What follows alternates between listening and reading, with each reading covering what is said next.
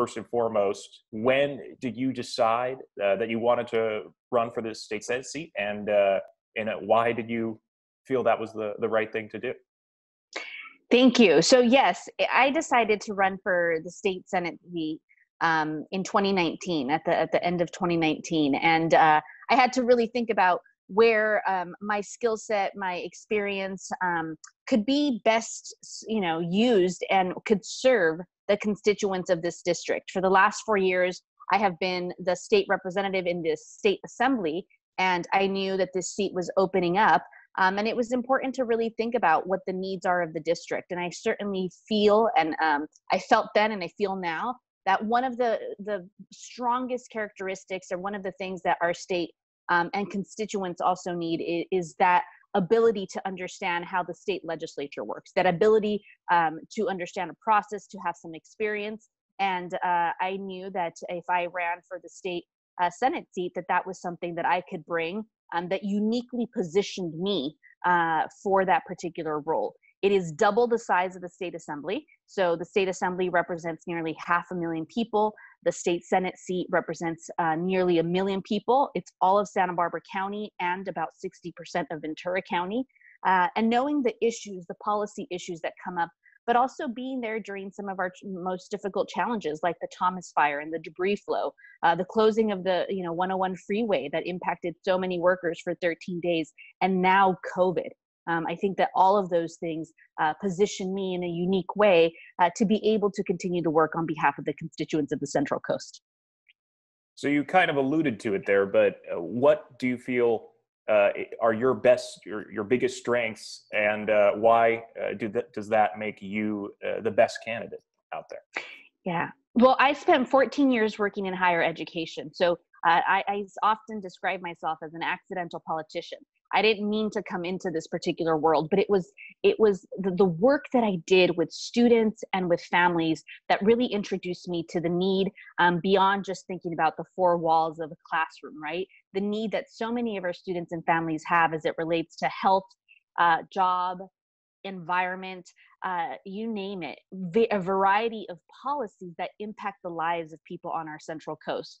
And so um, I think that that experience uh, com, you know, having worked with students and families directly in our district, combined with the legislative experience um, that I've had, I think uniquely position me uh, to be in the strongest position to be able to help our constituents in our district. Um, it, it is, you know, we are one of 120 legislators when we get elected to these roles. And so it's understanding how we're able to move some policy forward, um, how we're able to also help our constituents. Sometimes people forget that uh, it's not just voting on bills or creating bills that are, you know, that that is part of our job. Our job also uh, requires that we work with uh, state agencies in, in terms of helping our constituents every single day.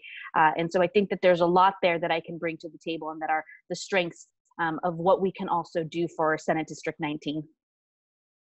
Uh, in your mind, uh, why is that experience uh, kind of in this realm of government so crucial? there are people out there that make the argument that when they're not satisfied with what they're seeing. Sometimes an outsider or someone, uh, you know, without that experience, almost may have an advantage uh, compared to someone who's had sort of that experience. Why do you feel like that experience is benef- a beneficial thing and, and important, makes you the better candidate? Well, I think it's important to recognize that there is not one elected official that we'll be able to please every single one of the constituents. The issues that are in front of us are, are absolutely very difficult. And when you represent half a million and almost a million, and the seat you're running for represents almost a million, um, I think it's really understood that uh, there are going to be bills that pass, bills that go through the process, issues and positions you take that not everyone agrees with. But at the end of the day, I think that um, over the last four years, uh, it really has been about the values that are important to our district, ensuring that we are protecting our environment, ensuring um, that we are doing all we can during a natural disaster um, that hits our community, ensuring that we are responsive. Um, and so while some may say, hey, look, an outsider would be wonderful. I respect that position, but I also feel that in terms of effectiveness, um, in terms of being able to understand um, how to bring resources to our community, that experience is um, absolutely needed, um, in, in, particularly in this moment in time. This is a unique year. Um, we have had to deal with COVID, and it's been extremely challenging. Um, and we will have to deal with COVID also in 2021. Um, so being able to bring that to the district, but also having a track record, um, having a track record of having worked on behalf of my district. I think that while there are many candidates um, who talk about some of the issues, you know, we've had some experience with the issues. I'm proud that the bills that I have authored in the legislature um, have, you know, mostly had bipartisan support. So if you look at the bills that I've authored that have been signed by the governor, 95% of those bills have been supported by in a bipartisan way. So both democrats and republicans. It also means that the values and the ideas that i'm bringing forward are widely accepted um, or understood or believed to be part of a solution um, for our state. And i think that that's an important thing to recognize. Well you kind of you mentioned it and we all know uh, it is a unique year. Um, and there's several issues that everyone's dealing with uh, but specifically in this district if you could point to one, what is the most uh, pressing issue or the biggest issue that uh, the district, the people in the district are facing right now? Right now, this very second, I believe it's the impact of COVID. Um, whether you're impacted because your job has been impacted and you're trying to get unemployment, whether you're a small business um, that's been impacted, or whether you're a parent or a student in our district that is trying to navigate the educational system that looks absolutely different. Um, there are so many impacts of COVID. Um, I think we have to remember that first and foremost, it's the root cause is a pandemic. It's a health pandemic. Um, and then there's all these other layers that come because of the health pandemic. Um, we have seen some incredible challenges, not just at the state level, but at the county and city level as well.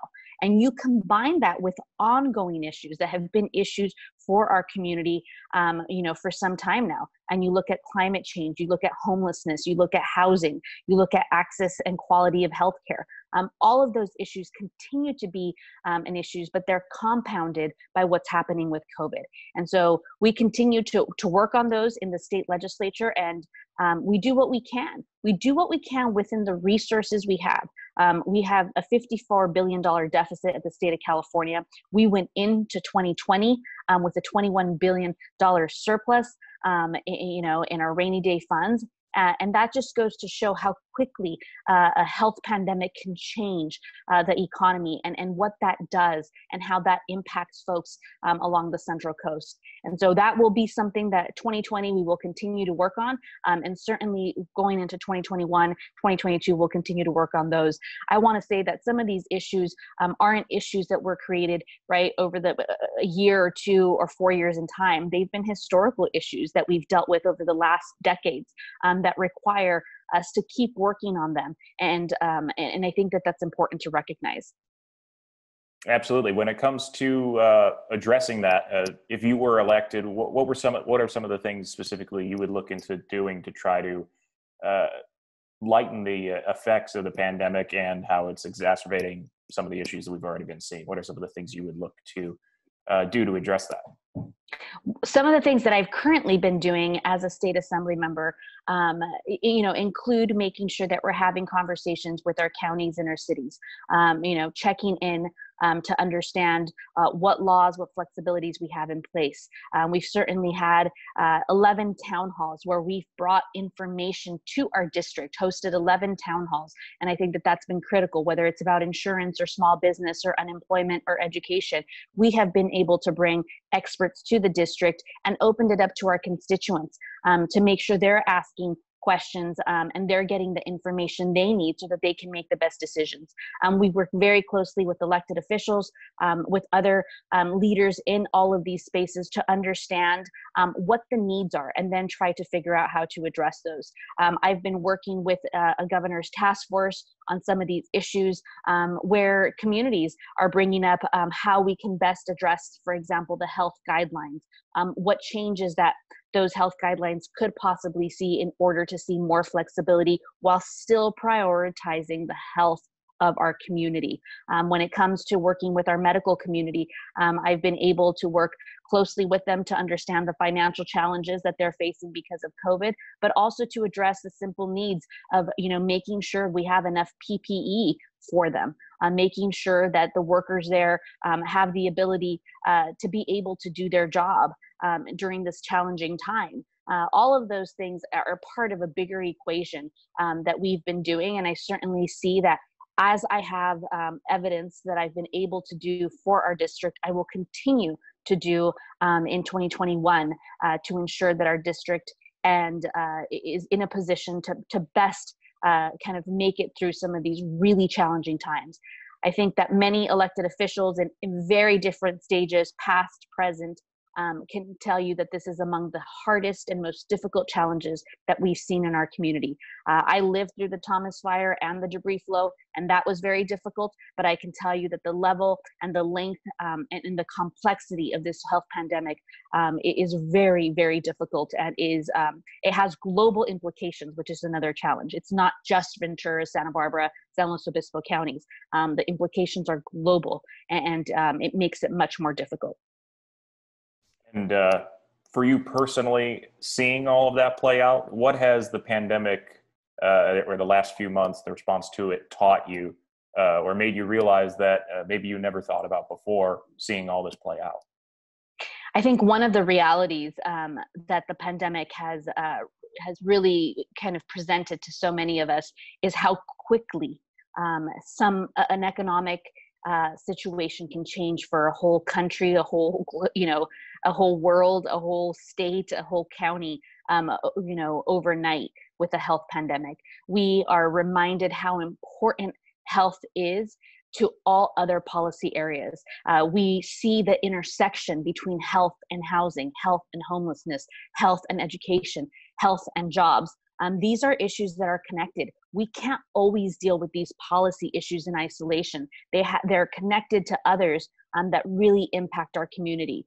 Um, I thought going into uh, this pandemic with the financial situation that California was in, knowing we had a healthy rainy day fund, um, that we would be able uh, to, you know, sh- to do better than, than than you know other states and certainly that has been the case. I can tell you that other states are hurting much more um, than our state of california is but however being the fifth largest economy um, it has had a you know severe impact on all of us um, in the state. But without people being healthy um, without really prioritizing how we help our community um, on the health front and to ensure that they don't get sick and that that you know that sickness doesn't make that doesn't end, doesn't end up in a hospital visit um, or a hospital stay even you know even harder in, in kind of lifetime complications um, is something that i think that is really important uh, and has been difficult to do. So i think that that's those are some of my takeaways um, in this particular moment.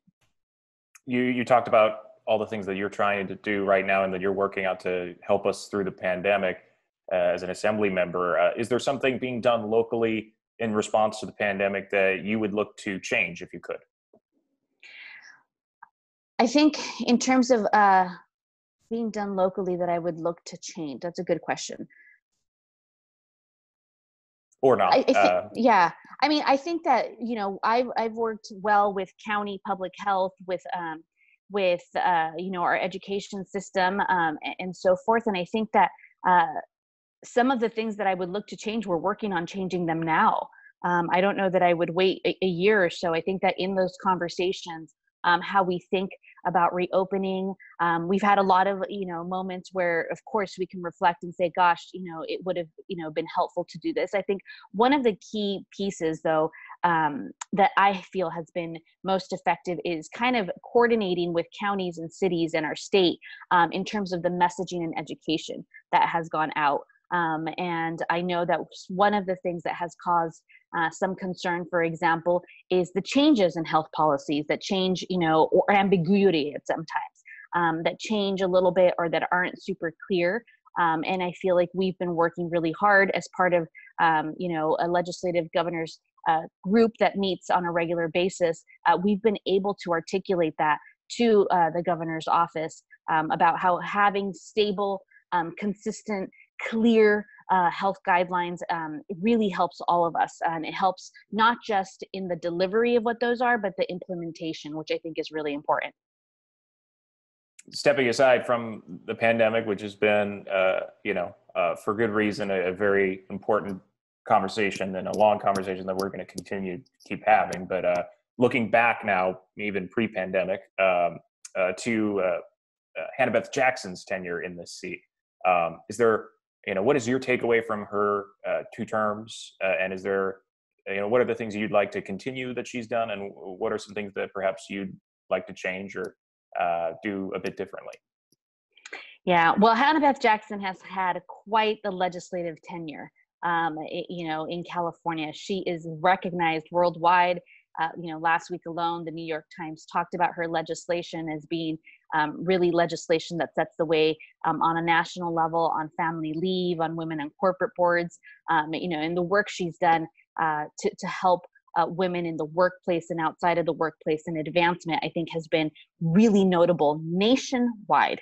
Um, she has set some of the policies at the state level um, that other states have followed. And I think it's really important to recognize um, that's not all she's done. Um, but I think that that's where she gets a lot uh, of um, you know the national attention but she's been also a champion for the environment um, and has passed uh, you know laws um, that are put in place uh, really a way that we can continue to sustain um, our environment particularly in the central coast um, as well as worked on a lot of privacy issues as it relates to technology uh, so i think she's definitely uh, been an incredible um, leader for our district and um, for our state. And uh, while we share you know similar values uh, in terms of protecting our environment making sure that women um, have the opportunity to advance and have equal pay for equal opportunity um, ensuring that women can go back uh, into the workplace um, and uh, have great opportunities. We also, uh, you know, um, are two different in, in individuals, um, but share same values. I think that part of being in this role is understanding what the values are of the district. Um, a, a representative in the state senate is really a liaison to the district. It doesn't mean that every person will agree with you, but knowing what the takeaways are. Our community wants um, a place where we have clean air, clean water right? A community wants a place where we can have access to healthcare. Um, even in the Central Coast, we're not LA, we don't have as many hospitals or medical centers as other communities do, but we want that.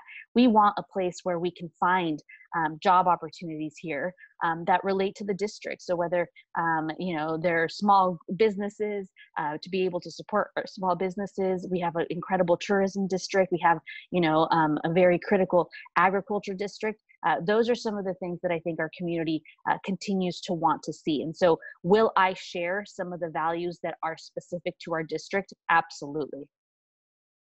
Um, I guess just broadly, uh, when voters, uh, you know, see your name or they hear your name, uh, when they think about you as a candidate, what is uh, what, what do you want their takeaway to be? what do you want people to think when they hear your name? Just kind of the first thing that uh, you want to be known for uh, in the community? Well, I would hope that when uh, members of our community uh, see my name on the ballot, they will reflect um, not only on my experience um, working in the legislature, but on what we've been able to do for the district. Um, that they will think of the fact that um, when we had the Thomas fire, um, we worked really hard to ensure that our fire um, safety personnel had the ability uh, to do prepositioning, which we hear so much about now, right? Being able to get ready for uh, weather and uh, conditions that uh, perhaps could prompt a, a, wildfire. I hope that the community thinks about the fact that we fought hard um, to backfill some of the counties um, you know, uh, some of the counties, I, I think, budget um, shortfalls during these natural disasters to help the counties uh, keep going. I hope that the community will also think about the fact that, look, at the end of the day, um, we, you know, I've had to make uh, difficult choices and we don't all agree, but um, there's a reason and there's a thought process um, and there's consideration uh, for how I get to those particular uh, end votes. So I, I, hope that the community will think all of that. I'm someone who was born and raised in this community. So not only am I proud to represent the very community that invested in my own personal success, but I'm also accountable um, this is my home. Um, it's been my home, and um, I will continue to do uh, what I believe and what I think I hear from constituents um, is the right direction to go. So uh, we talked about the pandemic and uh, your response to um, your experience, your responses to the uh, the natural disasters we've seen, and um, some of the values that you believe the community has uh, most. What are a couple of of topics that you're you know passionate about or uh, would obviously think are important to address that we haven't uh, brought up yet? What are a couple things that you you want to uh, you know mention to voters as something that you're you're prioritizing heading into uh, this this term if you were elected? Well, I will continue to prioritize um, emergency response, natural disaster response, COVID response. There's no doubt about it. But in addition to doing work um, in relation to that, um, and moving forward environmental and women's uh, issues. I think the other thing that our community should know is that, um, you know, I've been very focused on, for example, consumer protections. Um, I have I have yet to find anyone in our community um, that uh, has a disagreement on, um, you know, the feeling that we should all be treated fairly um, in, in, terms of consumer protections and financial institutions. I passed uh, two laws that the governor one the one the governor just signed um, last week, um, but the other was passed last year that are one, you know, that are really uh, leading laws uh, in the state of California, um, but also in the nation. California last week, Governor um, signed a bill that I authored uh, to establish the first consumer protection agency um, in the state of California uh, with oversight of financial institutions. Uh, and I think that that's something that's really meaningful. Um, it has, you know, uh, gotten some notable credit uh, and, and no, it's, it's noticed um, across uh, our country but it helps a lot of folks. During the pandemic, we've seen a 40% increase in consumer complaints um, in terms of trying to understand um, complaints or concerns related to financial institutions. And I think it's really important to have agencies in place and to have issues in place um, that help our, our constituents, um, a go-to place uh, for our constituents. And so uh, I'm proud of the work that I've done around consumer protection. I'm also really proud of, of the fact that um, since I've been in the legislature, we established the very first select committee on the nonprofit sector. Um, I have worked really closely with nonprofits in our state. They're the fourth largest employer um, as a sector in our state of California. And uh, we've been able to work together to pass legislation together, including the establishment of grants.ca.gov, uh, which is a new tool for nonprofits. So I think in addition to some of the, uh, the, the, the, legislation um, and the values that we have for our district. I think um, you can also see that uh, as a legislator, I've been able to work with the nonprofit sector, but also around consumer protections um, to help our constituents and really the state as a, as a whole. Uh, and you brought it up uh, earlier. Uh, how do you think your experience in education uh, before coming into this role uh, helps you looking at education, especially you know added challenges with covid and when to open schools things like that. But just in general the scope of education locally how do you think your experience helps you and how do you uh, assess uh, education in the district? Yeah so I, have served um, you know i served on a school board for six years. I served in higher ed um, as a professional there for 14 years. And i think certainly that that experience um, influences how I think of education. Um, education, you know, we have systems of education in California, um, and they are very big. But I also feel that uh, while they're big and sometimes change is much slower, um, understanding the impact of uh, some of these, you know, laws or regulations, or even just conditions. It's not always a law or regulation. Um, I think as we're watching how COVID has impacted. Um, I know what it means uh, to be in a classroom. I know, I understand what it means to be in higher ed and what the value is of the classroom experience, um, but also how important it is uh, for the health and safety of our students that we take um, the right and appropriate uh, steps to ensure that everyone's healthy in our in our education community, in our schools, in our you know in our institutions. Uh, I, I definitely think it's it's very key. I think at the core of my education experience, what I bring with me to the legislature is um, absolutely the the the knowing what it's like to work with students and families in the district, and not a dozen, not two dozen, um, but really, you know, over the 14 years, um, thousands of families in our district, knowing what the real life implication is of, of some of these issues, um, and, re- you know, remembering the stories. I'm so, uh, you know, I feel I, I get like excited when I still hear from some of the students that I work with who have now um, you know, earned their PhD, who remember me from when they were in junior high, going into their classroom or high school when I gave a financial aid workshop um, i think that it's those moments where i realize that it's those students the families that i worked with um, that really influence why i do the work that i do um, and why i try uh, to ensure that uh, at the le- at the state level there's a representative that understands um, you know all of the the the, the diversity the challenges um, that our community uh, goes through um, but the different thoughts and experience that we bring with them. Again this isn't about saying you're going to make every single person um, in the district happy. You just simply can't. Every bill that we vote for has a trade-off um, and i think it's understanding that um, but also knowing that um, we are doing our best given the conditions um, that you know th- that we have in front of us for our district i think is really imp- you know important. Um, and so it's it is those students the families that i've worked with over 14 years the thousands of students and families um, that, that i think about um, a lot um, when, when i'm writing the legisl- you know legislation or when i'm voting on something um, because it turns out that they have family that they have family who are business owners small business owners. They have um, family who are working uh, in our communities who are doing all kinds of different jobs um, you know that's i think what, what comes to mind for me and um, where i get both excited um, and i'm happy that i've had that experience to be able to draw upon uh, we, we've covered a lot um, but i want to kind of open the floor to you. Just is there anything else uh, that we haven't mentioned that you'd like to mention or uh, you know any message uh, additionally that uh, you know you want voters to take away? Um, let's see.